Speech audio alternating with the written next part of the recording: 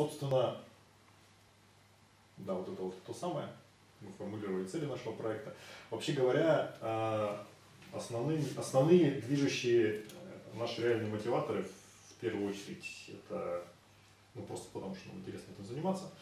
Во-вторых, мы действительно хотим, чтобы себестоимость постройки малоэтажного жилья снизилась в конечном итоге, ну, потому что, сами понимаете, там, сделать 3D принтер, например, одна из таких компаний им овладеет, то для конечного потребителя стоимость жилья, скорее всего, снизится не сильно, просто повысится, повысятся доходы. Повысится модность да, жилья. Владельцев этого. Скорее всего, даже увеличится, потому что это же дом напечатан на 3D принтере, может стоить 5 раз дороже. Вот. Ну вот ладно, это наши официально сформулированные цели. Вот, опять же... Откуда взялась эта идея? Мне А. кажется, стоит. Да. Откуда взялась эта идея? Да. Идея взялась Зарождалась. Э, однажды, Зимним. не зимним, а скорее всего весенним. Да. Весенним днем вот та Зимним. чудесная девушка Елена вдохновила Елена, нас. она говорит, а вот э, давайте делать принтер для печати бетона. Ну давайте. Вот. Он говорит, даже я, говорит, знаю, кому он нужен. Да, но есть просто ребята, которые действительно им интересно, ну, занимаются строительным бизнесом, им интересно было бы приобрести такую установку. Они тоже слышали об этом, видели в интернете, смотрели, им это интересно. Вот даже, даже если она не будет делать жилье дешевле, хотя бы просто интересно ей воспользоваться, да. Вот. И, естественно, таких разработок на самом деле э, вы не можете взять и купить себе принтер для печати бетона, просто потому что их нигде нет. Как мы уже видели, есть вот единственная действительно работающая установка, она в Китае, но она стационарная. Вот, то есть там как там стоит эти Короче, цеху бетонные есть, стены, да, больш- по, по ним ездит. большой э, экран. Да, большой экран. И он Ну, печатает его. печатает куски домов, либо, либо очень маленькие дома целиком, либо куски домов, которые потом отводятся на место и из них составляется. Вот. С точки зрения экономики, ну то есть как бы мы когда что-то делаем, если хотим, чтобы люди этим пользовались, людям это должно быть интересно, там, должно там, дешевле этим пользоваться, либо еще что-нибудь в таком духе. Экологичнее. Да, Рекламирование. экологичнее, неважно. То есть какие-то должны причины побудить человека этим пользоваться. С точки зрения экономики, вряд ли какие-то строительные фирмы действительно будут пользоваться разработкой наших друзей из Поднебесной по той простой причине, что по сути мы имеем крупнопанельное домостроение здесь, потому что помимо того, чтобы напечатать этот блок, его нужно еще техника, чтобы отвести, установить на месте, нужны строители, которые будут этим за- заниматься. То же самое, тот же самый подход используется он в крупнопанельном домостроении, где делаются панели, там тоже отводятся, устанавливаются, действительно ускоряет строительство дома, но сделать литую панель по форме это гораздо быстрее и дешевле, чем пропечатку. Конечно, да, здесь можно делать там каждый дом уникальным, но когда у вас э, возникает выбор уникальность либо в два раза дешевле, как правило, будут выбирать в два раза дешевле. Вот, на уникальность можно сходить там, посмотреть куда-нибудь в музей. Вот. А, вообще, а, ребята из Китая на самом деле позиционируют вот этот ну, производитель этого принтера, ну, изобретатель. Он больше упирает не то, что эта технология там, сильно дешевле делает производство, он упирает на то, что они используют специальные составы, которые делаются из цемента и отходов промышленности, и что это за счет этого становится дешевым. Вот. Ну, как бы, с другой стороны, что мешает те же самые составы использовать в литье бетонных форм. Вот. Поэтому мы такие подумали, решили, что Мы можем. да, что, что действительно интересно для потребителя принтер должен обладать некоторыми вот, не- некоторые требования нужно к нему предъявлять, что, ну, просто если представить, что вы человек, который хочет строить дома. Вот.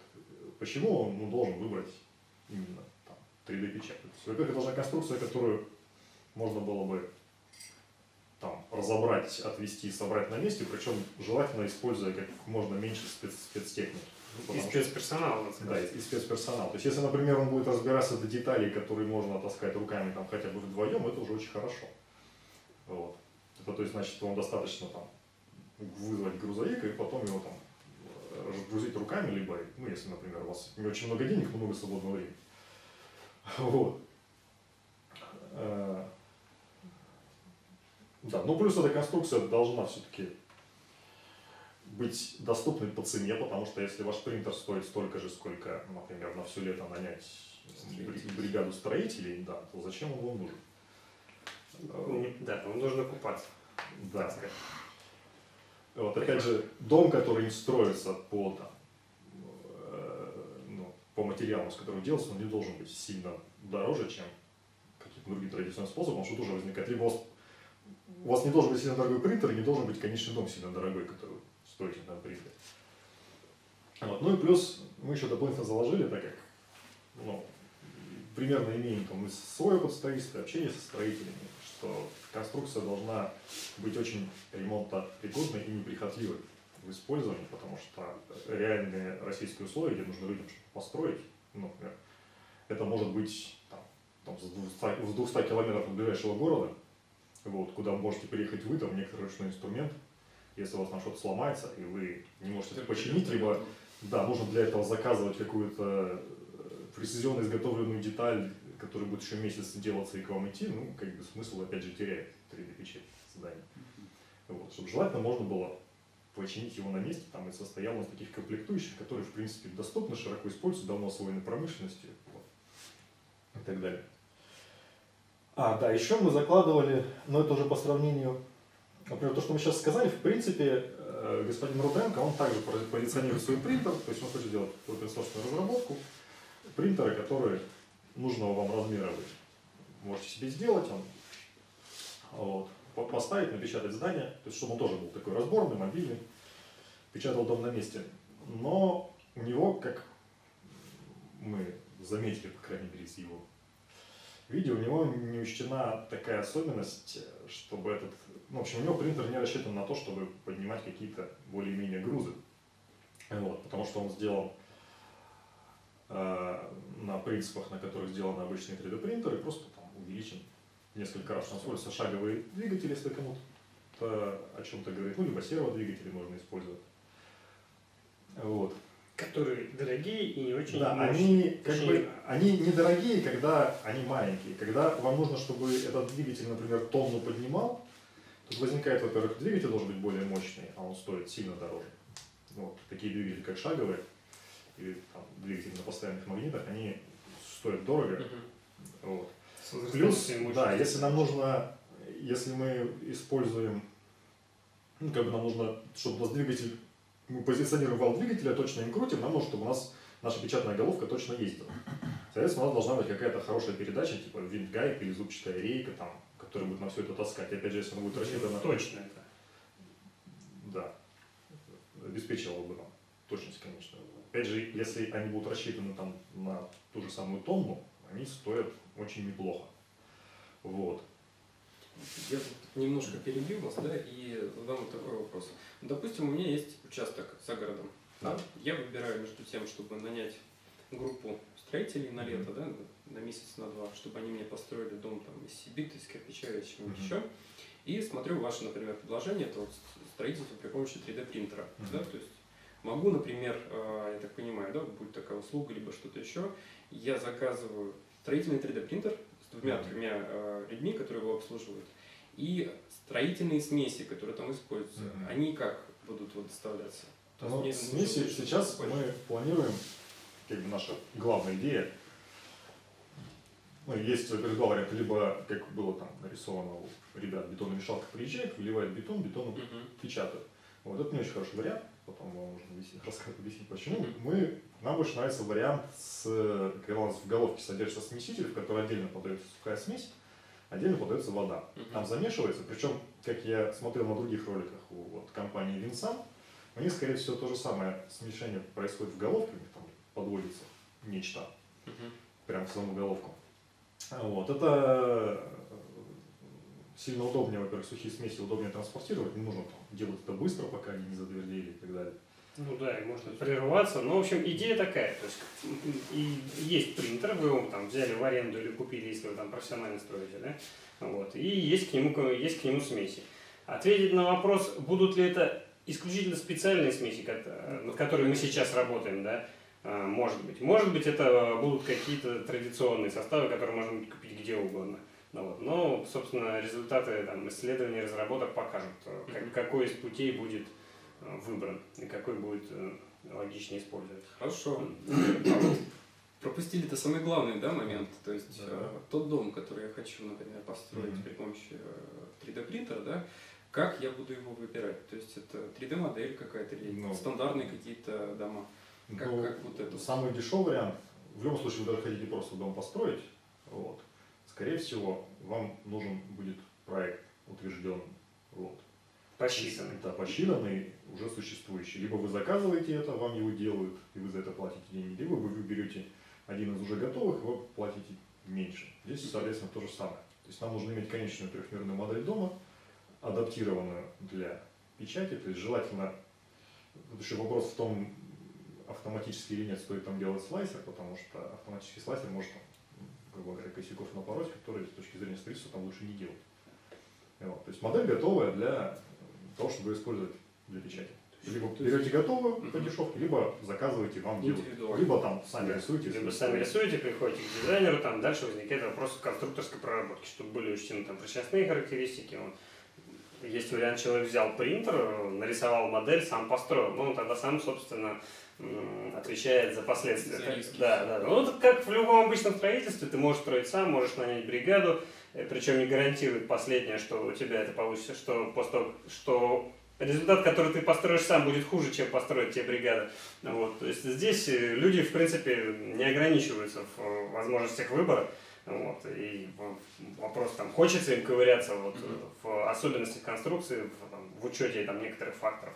Вот. Безусловно, там, в результате проекта мы будем понимать, какие у нас там э, прочностные характеристики имеет стена. Да? Их, можно, их может человек самостоятельно посчитать. Может, у него математический аппарат развит с- существенно лучше, чем у и разработчиков, сидящих здесь. Почему нет? Либо, Да, вот. это даже какой-то программный пакет, Да, позволит... в конечном счете и при удачном развитии, да, будет какой-то, наверное, программный пакет, то это будет зависеть от потребностей. То есть глобальная задача сделать, чтобы это было, конечно, и удобно, и функционально. Вот. И еще обеспечивало, да, и чтобы обеспечивало людям в конечном счете более дешевый результат. Мгм. То есть, э, ну вот так вот. Ну, Вот. И Саша уже сказал пару раз, что это будет open source, да, в конце хотелось бы, чтобы этот проект э, не оказался, м, так скажем, под, э, под ковром какой-либо одной строительной компании, чтобы люди могли его тиражировать, и как-то эта технология, так сказать, пошла в массы. Таким образом, мне лично кажется, что себестоимость строительства снизится не только за счет экономии на тех материалах, которые мы сейчас видим, там экономия на материалах стены, экономия на материалах работы. В принципе, когда у вас больше средств производства, вот, то конкуренция на рынке повышается, вот, вследствие чего по-хорошему еще должно повышаться качество продукции, вот, и, вероятно, будет снижаться цена квадратного метра. Ну, Вот по аналогии с традиционной да, 3D-печатью, которая в меньших масштабах из пластика, там у нас э, колоссальный выбор, во-первых, материалов, да, э, ну, соответственно, и градация да, цен тут же как бы появляется у нас. А, Возможно ли здесь, а, я так понимаю, сейчас речь идет пока просто о нескольких видов материалов, да, которыми, которыми будет вестись печать. А может ли это потом перерасти в какие-то композиционные материалы, которые там, будут заданными характеристиками небольшими? Чем это будет гораздо лучше традиционной э, технологии строительной? Где мы можем стену, например, сделать там слой, так понимаю, из дерева там, или из чего-нибудь еще. Валерий, а есть картинки здесь? Нет? Как которые. Ну, давайте. Давайте перемотаем на какую-нибудь картинку красивую, Давай. и на нее будем смотреть. Давайте. А, Ну, Потому потому что что-то некрасивое висит. Тоже вариант. Значит, эм, ну, чуть-чуть тогда про материал наверное, просто расскажу, потому что вопрос был такой общий. вот, я не совсем конкретно, как говорится. Да, можно вот на это посмотреть. То есть, э, по идее, сейчас вот, э, как у тех же товарищей из Китая мы видели, стена предполагается, что она будет э, иметь внешний контур, внутренние армирующие, так скажем, конструкционные перегородки, полости будут заливаться теплоизоляционным материалом. Вот. Мы можем варьировать, в зависимости от требований заказчика, можем варьировать ширину там, стены, это может быть здание там, относительно произвольной формы, там, понятно, что в пределах в пределах возможностей принтера, то есть, в, по крайней мере, геометрические размеры там нужно понимать. Вот. То есть сейчас мы работаем над прототипом, а в будущем там, вот, мы закладываем там, ну, ш- 6, на, 6 на 10 это габарит, плюс там, 6 метров высотой. Он может, конечно, переставляться, можно напечатать там, условно, 12 на 12 объект, ну и так далее. Вот. А, что касается материалов. Традиционно и первое, на что мы смотрим, это, конечно, цементно-песчаные мелкозернистые растворы. Это будут какие-то, возможно, высокопрочные смеси. Вот. А, то есть ассортимент здесь в плане выбора материала, он возможен. Возможно также цена. Есть вариант, что это будут э, грунтоцементные композиции, например, которые вот, там, люди, которые, которым нравится слово «саман», их можно тут тоже чем-то порадовать. Вот.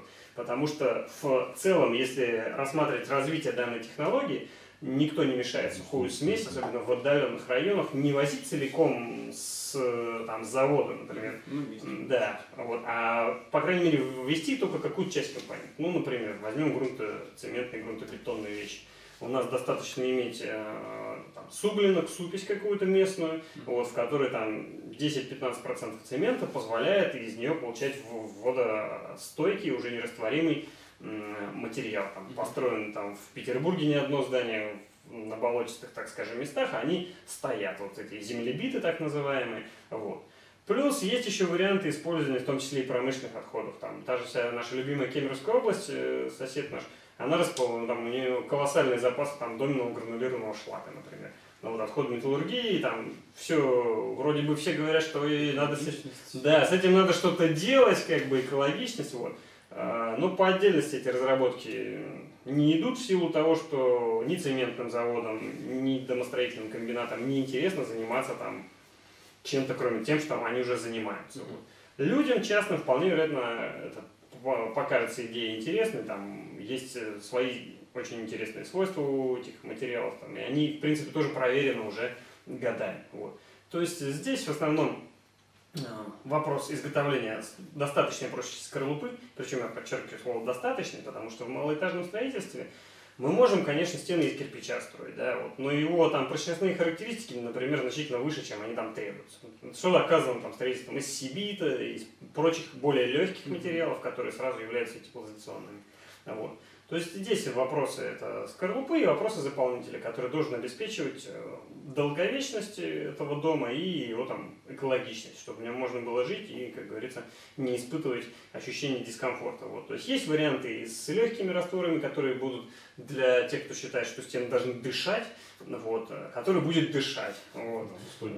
Да, он получается, конечно, дороже, вот, но то, что мы рассчитывали, в принципе, на бумстартере, там есть эти даже расчеты на площадке, где мы сейчас ищем финансирование, да, там есть красивые картинки показаны, вот, в принципе, мы получаем там в самом дешевом варианте по материалам квадратный там метр стены, теплый реально, а, ну, один из наиболее теплых вариантов, которые у нас сейчас используют в традиционном строительстве, там он стоит там, 700, по-моему, рублей или 800. Да? Между 700 да. копейками. Ну, вот это вот это стоимость квадратным метром стен материала. Да? То есть, если мы берем там, традиционный кирпич с утеплением, он там в полтора-два раза дороже. Вот.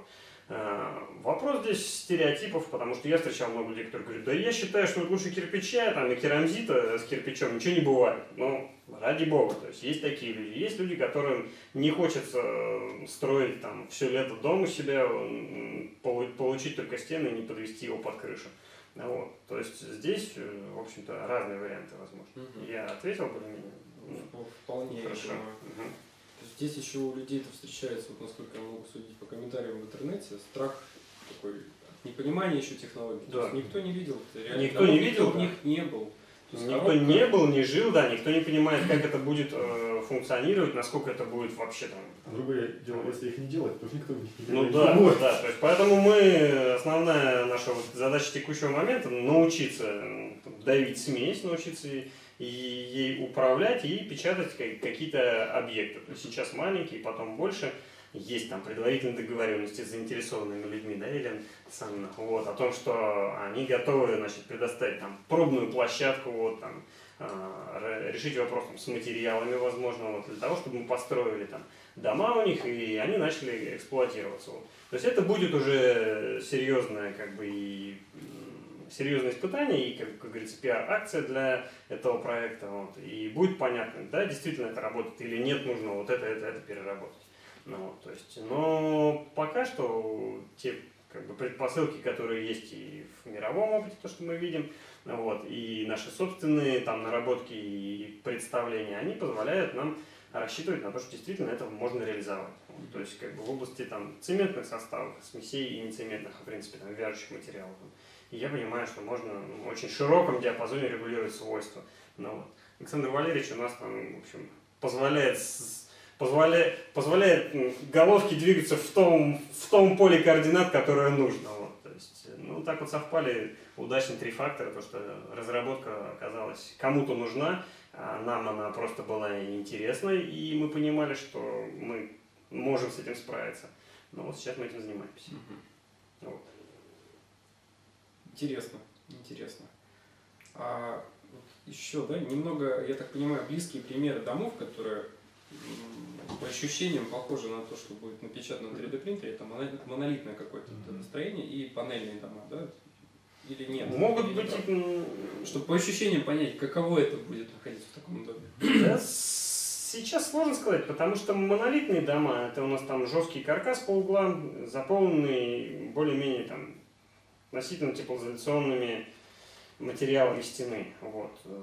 Имею несколько знакомых живет в таких домах, но как бы по углам вот, по углам самых э, тяжелых с точки зрения теплотехники зонах, они, эти вот монолитные дома, имеют э, теплопроводящие стержни из именно вот этой арматуры монолитной. То есть этот проект, который требует, вот мы сегодня беседовали со своим знакомым строителем, он говорит, ну как бы вот, я вижу, где экономия в вашем проекте может быть, потому что вот ребята строят, значит, они неделю ставят опалубку, заливают, это один этаж. Ну да, их там много, это многоэтажное строительство. Ну, в малоэтажном это становится только дороже, потому что ты должен поставить там опалубку, вот, должен привезти туда хорошего бетона, а с учетом того, что у нас народ любит зимой еще построить, вот, вот еще и там бетон с, с противоморозными добавками, я вам там, скажу как химик-цементник, что ну, вот мало действительно хороших добавок. То есть это должен быть хороший цемент, хорошее качество подготовки смеси, и он должен успеть затвердить хотя бы там процентов на 30 набрать прочности до того момента, как он замерзнет. Вот. А все противоморозные добавки потом вылазят в виде высолов и, там, собственно, мало чего хорошего добавляет. Вот. А потом это все нужно снять, перенести на следующий этаж и так далее. То есть непрерывности не видно. Вот, возможно, по, по, ощущениям, по ощущениям как люди будут жить. Знаете... Мне кажется, что как в домах из бетонных блоков.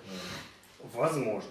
Возможно. Если сделать дышащие стены, так называемые, то, возможно, это будет ощущение близких к деревянным. Чем и почему я не хочу сравнивать с панельками монолитными?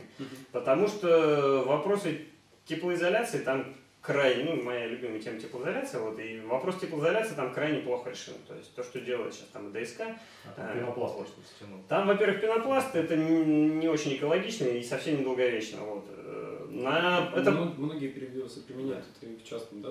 Да, это сейчас активный, активный вариант, как бы, но нужно понимать вот этот вот обратную, обратную сторону медали, видеть, что у каждого материала, теплоизоляционного и конструкционного, есть э, существующая стоимость, это, как, как так скажем, капитальное вложение, но и вложение на обслуживание. То есть, если у вас пенопласт вы закатали, не дай бог, в стену, вот, то когда срок его службы закончится, вы его оттуда никак не вытащите.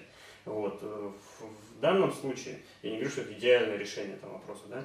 Ну, вот. А в данном случае мы имеем газобетон, тоже, тоже бетонный материал, достаточно эффективный с точки зрения теплоизоляции, залитый внутрь. Вот. Он, да, непрочный с точки там, с представления сибита обычный блок, он будет тверже, там, близок к дереву. Да? Вот. Сюда мы предполагаем заливать там что-то очень легкое, вот, с высокими теплоизоляционными характеристиками, вот, он не будет там сверхпрочным, но он несет никакой нагрузки. Вот. То есть то же самое, грубо говоря, пенопласт, по сути, но он не органический, он не гниет, там, не горит, и его, он не так приятен мышам. Вот. Поэтому с точки зрения тепла это должно быть что-то гораздо эффективнее. Вот. А с точки зрения комфорта и всего прочего, у каждого свои представления о комфорте. Вот. Э, Здесь индивидуальное все-таки. Да. Такое. Да, это что-то такое. Подход, э, да, да, свой подход должен Понятно. А, грузоподъемность до 800 килограмм. То есть для того, чтобы да, Для того, чтобы не лежать рядом кран. Mm-hmm. Потому да. что в любом случае, если вы строите дом, даже одноэтажный, все равно вам надо будет что-то куда-то поднимать. В любом. Да, если вы можете делать сразу роутером, который причем хорошо позиционируется, там, Воз... Крыша кстати, кстати, кстати, по поводу роутера, я вот хотел бы, чтобы вы объяснили, почему именно роутер Потому что многие... Почему А, не рука, почему Почему роутер? не чепус там? Почему роутер еще на синхронных двигателях? Ну, роутер в данном случае называется ортогональный роутер, то есть у нас есть три, в трех осях может двигаться. Там есть еще дальше какие-то картинки симпатичные? Симпатичный дальше, по-моему, уже нет. Я полистаю.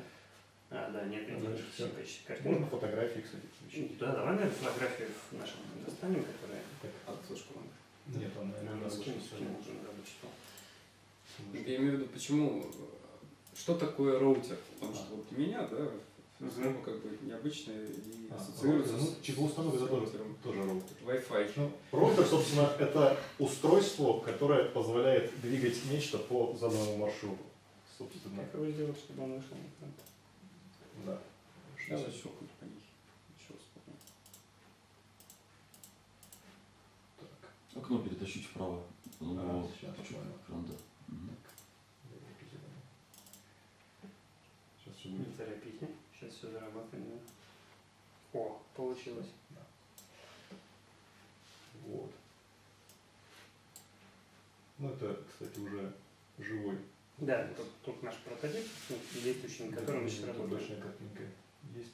М, Наверное, первый. Ну, наверное, это пусть будет. Вы можете рассказать как раз, что у вас уже сделано, да? Да. И к чему Ну вот, роутер это устройство позиционирования. Те- Вообще, в, в создании данного принтера две очень большие задачи, а точнее даже три. Это, ну, понятно, как, какой смесью вообще, чтобы ей можно было печатать. Потом, как эту смесь подавать.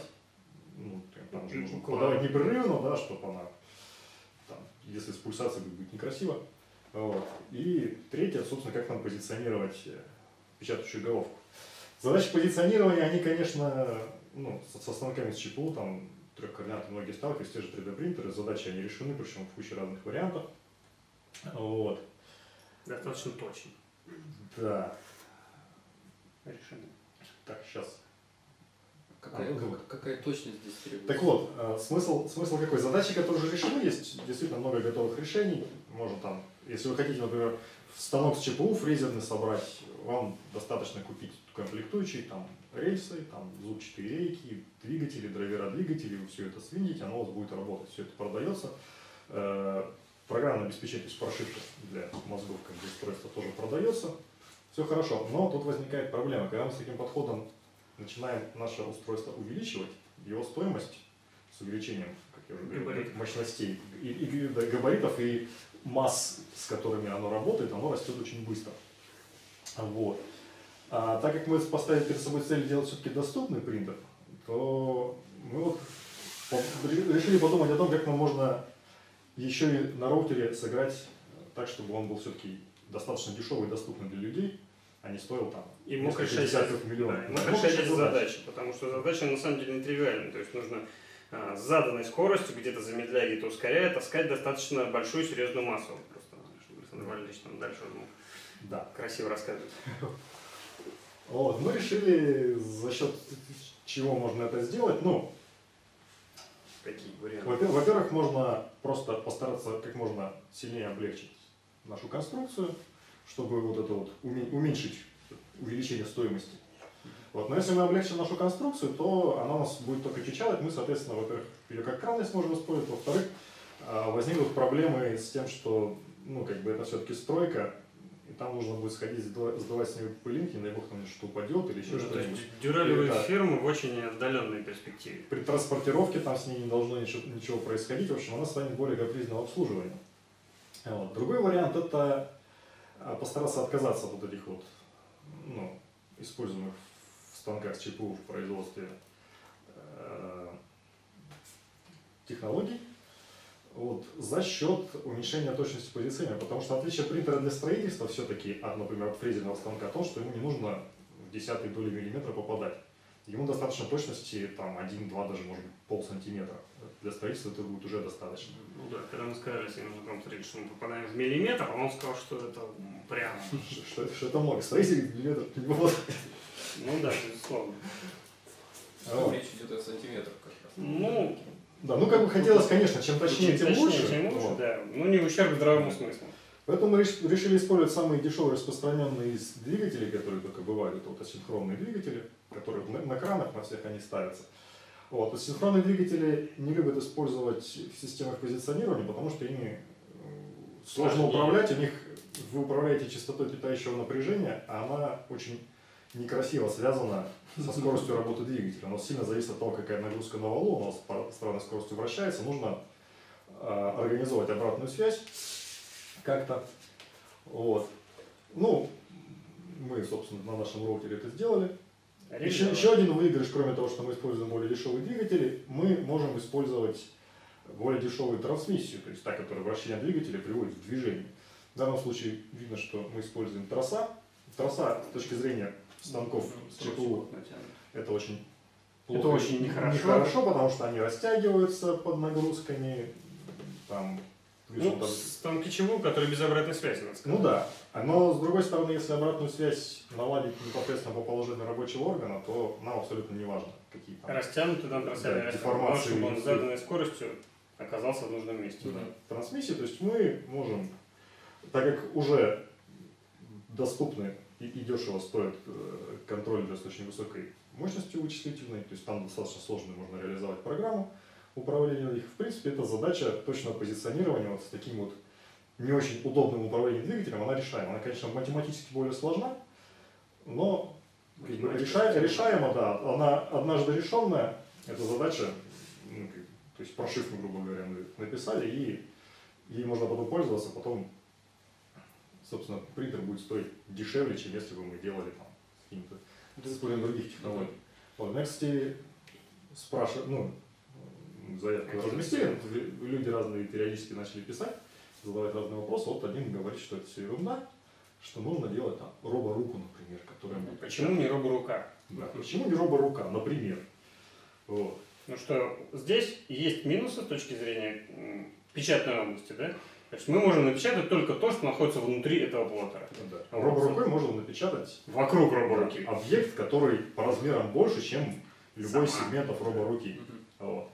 Но, например, в роборуке, если мы посмотрим, у нас, ну, в каждом сочленении, если мы какую-то погрешность возьмем, то у нас суммарная погрешность будет как погрешность в каждом сочленении умножена на длину этого сочленения. Все это будет складываться и преобразовываться в конечную погрешность. Достигнуть высокой точности на роборуке сложно, там должны быть очень высокой точности э, Изготовления. элементы. Вот. И как бы, да, действительно, роборука в принципе реализуема. Вот опять же мы видели, ребята на, на, на Луне роборукой хотят печатать, потому что действительно ее можно сложить существенно компактнее, но это за такие деньги, что в космосе это нормально. Вот. Космические деньги. Да, оказывается. да. А на Земле вряд ли кому-то это будет интересно за такие деньги покупать. Ну, собственно, поэтому и роутер. Мгм. Поэтому и роутер, и его, в общем-то, достаточно легко можно разобрать, как вот здесь видите, там четыре колонны вертикальных, там точно похожие колонны продольные и горизонтальные, то есть это все фермы, которые изготавливаются ну, немудреным способом, вот, и опять же транспортируются, то есть датчики прикрыты, их можно грузить в шестиметровый автомобиль грузовой и не дрожать там над каждым над каждой кочкой, ну, то есть ехать спокойно. То есть, А, ну, кстати, вот эта конструкция, это вот наш прототип, она размером все-таки. Вот эти фермы длиной 2 метра 10 сантиметров. все. Да, то есть, ну, вот, ну, кубик такой вот. Большой. На руках их можно носить. Да, на руках их даже немощные айтишники с не очень сильными химиками способны перетаскивать, устанавливать. Ну вот, то есть, э, Вопрос такой. А площадка строительная, да, под строительство дома, она должна быть абсолютно ровной или, возможно, вот какие-то вот как холмы там? Тут без математической модели. Без математических, хорошо. Тут э, вариант номер один, самый простой для печати. Идеально ровная площадка, мы на ней выставляем колонны и печатаем. Вот. Точно так же, как э, тот принтер, например, с рельсами, который вы видели, там должна быть вообще идеально ровная площадка, предварительно подготовлена, потому что иначе ровно рельсами не положим. Мгм. Вот, но у нас, например, в- ну, вообще в идеале, чтобы принтер смог работать, э, достаточно вы- выставить 4 колонны в четырех точках. Даже не обязательно, чтобы они на одной высоте стояли, но чтобы они образовывали там, прямоугольник нужный. Вот. Ну и плюс у нас все-таки конструкция предусмотрена, что они немножко могут там, Люфтить. да, не- немножко неровности могут все-таки быть. Ну, Александр Валерьевич, да, надо подробнее. Мне кажется, он прям начиная с фундамента. То есть А, можно, начиная с фундамента? Да, то есть вот есть зеленые насаждения и есть куча железа спального угла. Ну, в общем, ладно, выставили мы четыре колонны. Вот. По этим четырем колоннам у нас уже может ездить головка. Понятно, что если у нас площадка неровная, то печатать мы не сможем. Вот. Да и, Да. собственно, любой- в любом доме нужен фундамент. Да, в любом доме нужен фундамент. Фундамент, если фундамент там уже готов, например, ленточный, то он, он- он сверху ровный, вообще можно отлично. печатать. Если в других местах неровности, бог с ним. Вот, если фундамента нет, то, в принципе, за счет вот, дополнительных бонусов высокой несущей способности принтера, например, может использоваться там, для закручивания винтовых свай, например. То есть на него просто вешается другая головка, он Да, он закручивает винтовые сваи, потом подает швеллера монтажникам, собственно, помогает. И да, они обваривают. В итоге мы получаем ровную площадку, в конце концов, и благодаря ему это делать э, будет, наверное, гораздо легче, вот, чем традиционным способом. Хотя сейчас лазерные все уровни, они Нет, все равно, когда у тебя есть Да. штука, которую ты можешь точно в любое место подать нужную тебе железку, это И сильно проконтролировать, удобнее. да. и проконтролировать заодно. Да. То есть есть, конечно, фантазии, например, насчет того, что на нее вешается там большой фрезер для грунта и выфрезеровывает ровную площадку, но это как бы такие- Это больше фантазии. боль- больше фантазии. Это какое-то там развитие 35-е, там много есть людей, которые на готовых устройствах уже могут что-то там сочинить, это прекрасно. Ну, То есть, конечно, в- итоге появляется фундамент и на нем печатается. То есть э, ровная площадка, в общем-то, не обязательное требование. Вот, то есть нужно, Это супер. нужно закрутить просто по углам основания, там те же сваи, например, да, вот, которые в принципе крутятся вручную, то есть ему не нужны там сверхпрочные. м, Чтобы колонны было к чему прикрепить, чтобы они там не болтали. То есть основная проблема тех, у кого есть обычные 3D-принтеры, калибровка. Да-да-да. Да, да, да, да. Есть, конечно, специфическое извращение, ну тоже из разряда фрезерования Грунта. Это, например, лазерное сканирование грунта и потом учет неровностей моделей. Вот. Это, есть же, такой да. вариант, да. Но это больше для каких-то экзотических и специальных проектов. То есть традиционно есть площадка, есть э, поставили строительное оборудование, и оно все спокойно работает. Вот. Вполне вероятно, что оно будет работать в домике внутри, потому что вот все, что мы там видели, там вот картинки на площадке, где вот сидит человек прекрасный даже не под тентом, вот и у него там принтер что-то строит, это не очень похоже на реалии вообще и на сибирские в частности. Вот. С учетом того, что дождь, ветер и прочие прелести будут вносить свои коррективы, вот, скорее всего, это будет... еще влажность Да, влажность. Условий. Да, желательно, все-таки бетону желательно твердеть, а не сохнуть. То есть есть э, такое распространенное заблуждение, что бетон высох и набрал прочность. Вот если он высох в первые там 2-3 дня, то он прочность на- закончил набирать в этот момент. То есть бетон он должен находиться в влажном состоянии в какое-то проектное время. Ну Вот, соответственно, скорее всего, это будет палаточка из, из тента, вот, с какой-то тентовой ткани. Ну, заодно на нее не будет э, литься дождь, так скажем. Вот, и там, град может да, да, да, да, да, да. Ну и опять же, зима пришла, там какой-то там, до каких-то отрицательных температур, возможно, все это дело будет работать. Ну, Опять же, роутер, у которого 4 колонны по углам, для него это проще реализовать, чем для Да. того же Руки, да, есть это как бы идеально тросики ты натянул, там, в общем-то, как в душе шторочки задернул, и вот счастье. Опять же, соседи не видят, что за чудо там происходит.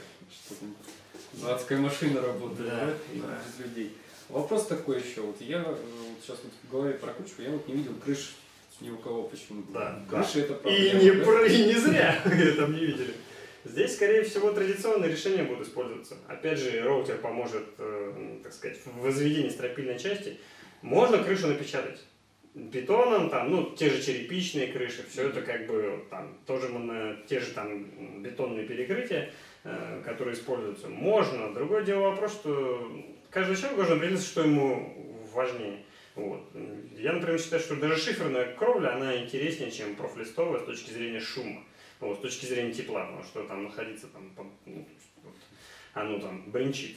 Никто не мешает напечатать бетонную кровлю там, причем можно какой-то специфической формы.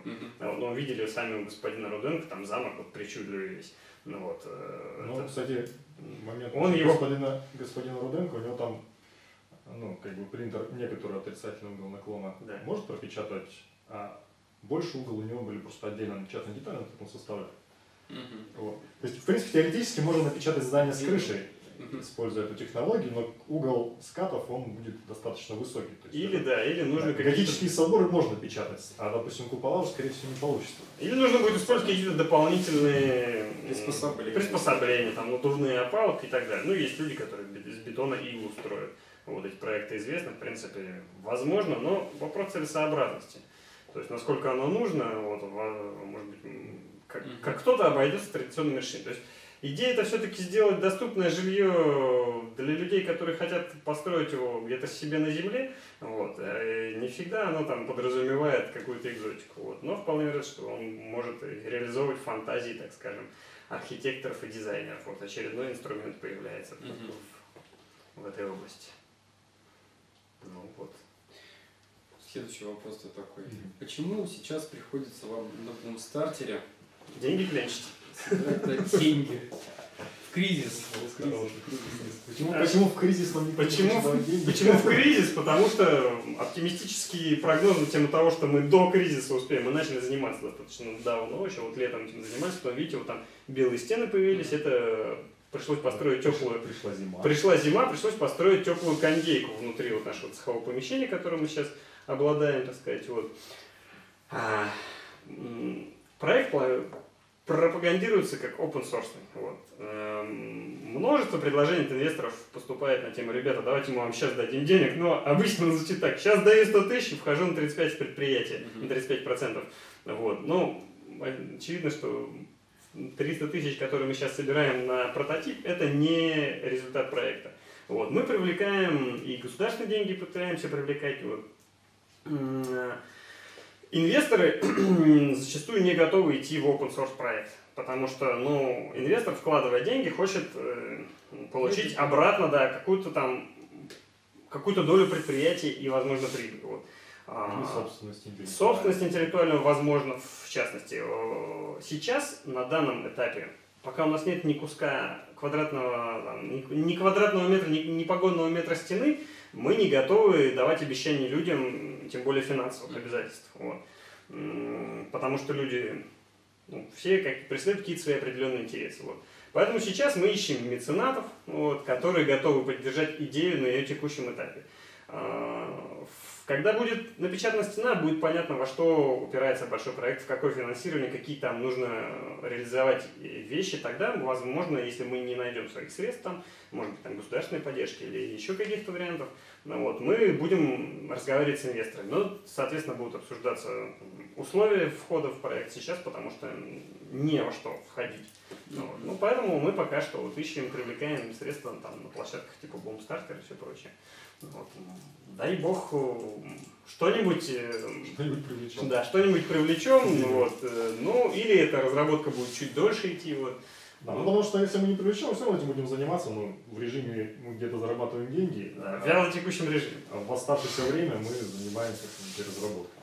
Ну, естественно, это будет существенно дольше, потому что если, например, есть деньги, ты просто взял и туда окунулся и работаешь. Мгм. Вот. А так это у тебя будет как бы вторым, третьим э, Делом, приоритетом, да, идти. И реализоваться, реализовываться будет дольше, соответственно. Ну, я думаю, что будет реализовано. А люди-то вот что-то пишут, обратная связь идет, вот чему Ну, они боятся вкладывать или да. что? Не, Пишут основные, во-первых, два основных тезиса, Мгм. которые у людей. Первый тезис, а как же арматура все развалится? Второй тезис, в Китае давно уже есть, зачем это вообще разрабатывать?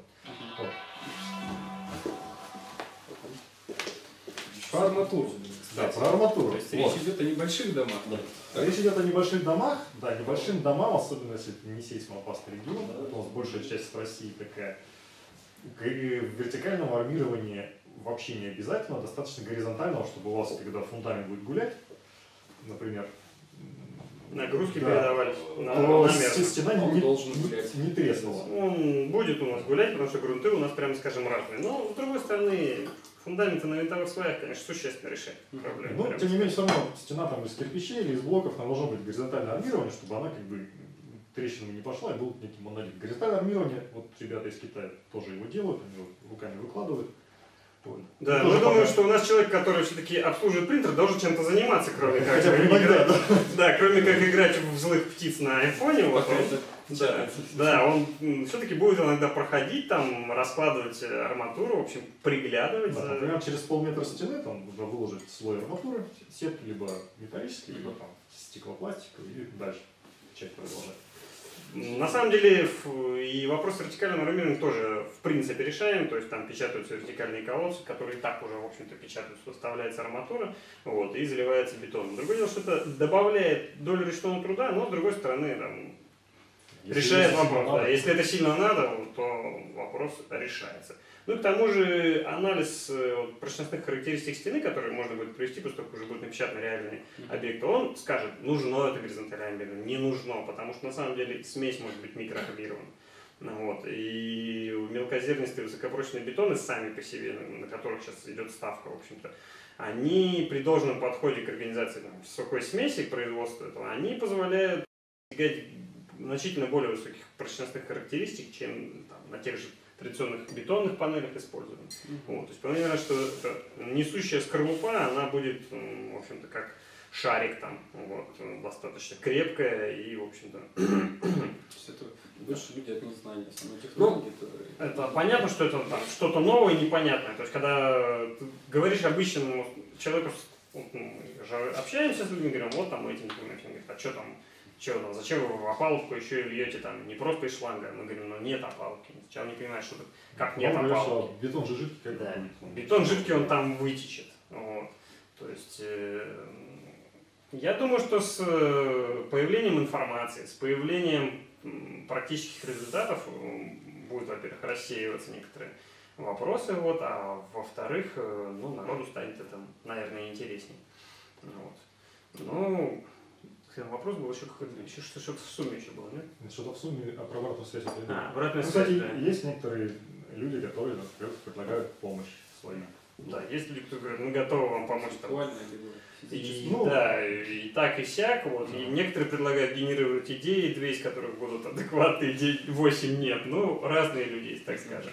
Есть, которые реально говорят, ребята, готовы вам помочь в разработке смеси, там, в ее там, как там, лице, не что-то я забыл, как это Ну, называлось. Сертификация. Сертификация да. да, вот, то есть, ну, Вопрос по, по сертификации домов-то вот до трех этажей, они, по-моему, не Да, требуются, да, Да, то есть в этом, это может строить вам любой дядя Вася без каких-либо дополнительных решений. И, в принципе, это ваш дом, вам в нем жить. Вот. И я, честно говоря, общался достаточно плотно с нашими стройками в городе Томске. Вот. Я вам скажу, что по личному опыту я лучше буду жить в э, своем доме, даже если я не профессиональный строитель, который я там построю. Если мне что-то на голову упадет, я буду сам за это, в общем-то, нести ответственность. Мгм. Вот, потому что традиционное строительство, э, в силу того, что идет экономия на всем, чем можно, вот, в том числе и на интеллектуальных ресурсах э, рабочих, не она не гарантирует вообще ничего, и они ведутся зачастую с нарушениями норм. Ну, пока люди покупают, не имеют возможности выбора, вот, а, по ряду причин. Вот, это будет идти и продаваться. Здесь, кстати, такой интересный момент, да, в стандартном строительстве, а, при стандартном строительстве качество, за качество отвечает бригадир, руководит, да, скажем. он контролирует, Да, должен. он приглядывает, да. А здесь, в принципе, мы можем посмотреть видеозапись и э, получить какие-то данные, да, как проработал этот 3D-принтер, где Логистика, безусловно. То есть здесь обратная связь. Вы можете дома процессу, получать, э, там, Мгм. я так понимаю. Ну, Чуть- Вы можете из дома печатать, управлять и принтером, в общем-то. да? Ну, это такое пре- преимущество очень хорошее. Безусловно, да. Ну, вопрос адекватности строителя, он все равно остается. Вот, поскольку, поскольку вот, он остается всегда, но нужно, безусловно, понимать, с какими, с какими людьми вы работаете и что вы хотите в конечном счете получить. Вот, и нет гарантий в каждом конкретном случае, они нужно внимательно вглядываться в тех людей, с которыми работаешь. Но это везде так, в общем-то. Что касается э, вот, примеров напечатанных домов да, за рубежом, в Китае очень хотелось бы увидеть этим летом. Типа, как, как только вот у вас получится, А нам как хотелось дом бы. напечатан. Нам-то бы как хотелось. У нас Но сначала мы, наверное, напечатаем будочку какую-то. У нас есть вот в цеху там знакомая собачка, которая уже ждет новоселья очень. давно. Вот. И я думаю, что первый проект с теплым бетоном будет вот посвящен ей. Вот. И я думаю, мы, конечно, покажем то, что у нас получилось. Я думаю, что возгласы будут достаточно слышны, вот, что что-то, в принципе, работает, поскольку проект будет а, дальше как-то развиваться и искать э, Нет. способы роста и развития. Поэтому, безусловно. Ну вот мост Вот, на стартере, э, как принято да, обозначать какие-то сроки там развития Мгм. проекта. На бумстартере я такого не наблюдал. Мгм. А, приблизительно когда вот, Мгм. когда вот нужно будет что-то. Приблизительно когда? Можно Ну, как бы. Нет, хотелось бы, например, уже этой весной что-то что напечатать. Сейчас мы экструдер разрабатываем. Да, В принципе, для того, чтобы Что что-то напечатать с экструдером, даже не обязательно систему подачи смеси делать, а просто ее там в булькин насыпать. Вот. Ну, если государство, то есть у меня же есть несколько проектов экструдера, нужно их вот, как, как, как то реализовать, либо своими руками это будет долго и некрасиво, Не, либо ну- если у нас будут деньги, то это будет быстро и красиво. Быстрее и Да, металлорежущим читу. Вот. Ну, итог на бомбстартере кончается от какого там числа? Когда там? На бумстартере, кстати, кончается в марте. в. Да, плюс, если там набираются деньги, это в течение месяца они только идут. Мгм. Вот. Начнем уже Да. весной. Не факт, что это будут дома там, вот, Не, точнее, не факт, не факт, что даже эти смеси будут длиться нормально. То есть, э, Я просто такую хочу важную часть отметить, что те люди, которые все-таки будут пожертвованы так, на бумстартере делать, если сумма наберется, то это значительно повлияет на скорость. Ну, Естественно, это повлияет на скорость. Ну, уже, по уже вышеуказанным причинам. Что мы сможем просто этим заниматься. Вместо того, чтобы заниматься чем-то другим. ну да, ну, мы в расчетах своих арифметичных мы закладывали там 2-3 месяца при наличии средств того, что мы получим что-то вразумительное. А, Практика жизни, конечно, показывает, что это несколько дольше. Вот. И, в общем-то, планировалось, что ролик на Бумстартер уйдет э, до кризиса еще. До, до Нового года. Да, до Нового года. Но, по крайней мере, он ушел туда в принципе, и дай бог, что и принтер тоже будет, будет чего-то печатать. Вот. Ну, может быть, это будет там летом. Жизнь покажет, как это будет все развиваться. Пока есть такое желание, надо этим пользоваться, пока эта э, тема востребована в людях и интересна. Сейчас это все набирает э, обороты. Я думаю, что скоро появятся подобные проекты не только в городе Томске. Вот. И это хорошо, потому что Конкуренция двигателей. а, Во-первых, конкуренция двигателя, во-вторых, э, да, как кто-то, не помню, кто искал, что если у тебя есть одно яблоко, и у меня есть одно яблоко, мы поменялись, у нас с тобой там, все равно осталось по одному яблоку. Если у тебя есть идея, и у меня есть идея, мы обменялись, то каждый из нас ушел с двумя идеями. Вот. И зачастую многие решения, они, в общем-то, приходят вот внезапно и оказываются весьма полезными. И общаясь друг с другом, можно э, как-то существенно ускорить прогресс в этой области. Лавинообразно что-то. Вот. Спасибо вам, что пришли. Спасибо, что пригласили. Да. Очень Надеюсь, было пообщаться скучно. на такую Может интересную быть, тему, потому что вы первый, кто общается про такую вот разработку на своей Жизнь вынудила. Да, Были бы у нас деньги, мы бы не общались. Ну, да. себе спокойно. Да, да, да. Поэтому вполне вероятно, что это все не зря.